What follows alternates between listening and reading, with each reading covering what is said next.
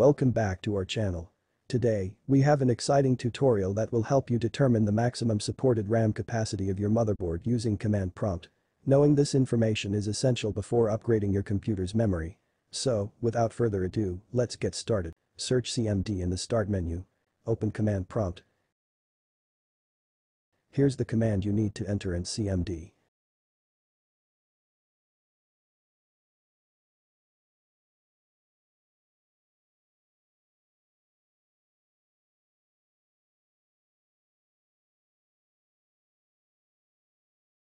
This command will quickly fetch max capacity value in the output.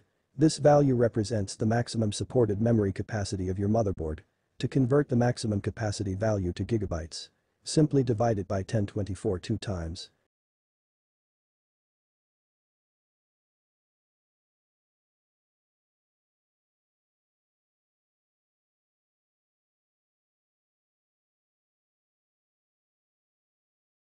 To know how many memory slots in motherboard, use this command.